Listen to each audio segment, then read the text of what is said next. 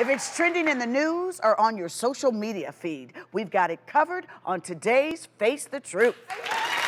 So let's get to it. Check out this massive poster of a couple's faces on a building in New York City, looking uneventful, but the story behind it, ooh, it is oh so juicy. Check it out. A photo of billionaire real estate mogul Harry Macklowe and his future wife may take breakup pettiness to a whole new level. 42 feet to be exact. The mogul calls the photo a proclamation of love, but it follows a very public breakup to his former wife of 50 years. To add salt to the wound, the building where the photo now lives is the same one where the couple used to share an apartment together. So what say you? Is this a display of true love or an ex-husband out for blood? Truth team, what do you think about this real estate mogul's so-called proclamation of love? This is just wrong, Vivica, on so many levels. I mean, this guy is married to this woman for over 50 years. They're going through this really contentious divorce.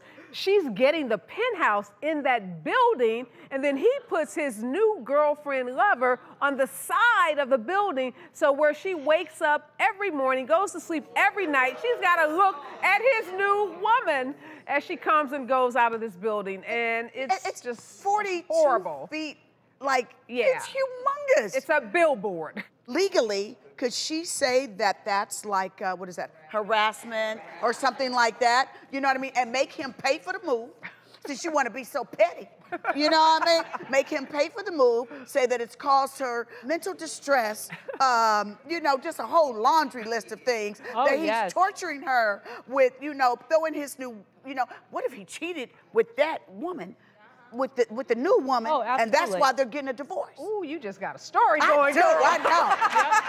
Yeah. Well, Yeah. in- infidelity is not going to be an issue in a divorce, but I don't think, and Judge Mary, you sh- you can chime in here. A judge is going to take too kindly to, you know, This an act. ex doing that in a in the middle of a contentious divorce. That, that just seems so petty, so mean spirited that. And it's then at just night it lights up.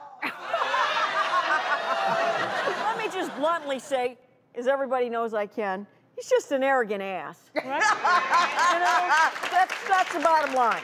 Yeah. Yeah. Don't, Yeah. don't, don't fluff it up. He's an arrogant ass. Yeah, I think she should get the building done a lot more. If it's trending in the news or on your social media feed, we've got it covered from who cheats more, men or women? It's not the seven-year itch anymore. It's the two-year twitch. Two. Elizabeth Holmes made some hefty promises to revolutionize healthcare. How did she have everyone fooled? She could face up to 20 years. Mm. It's Facebook playing favorites plus J-Lo's new engagement ring.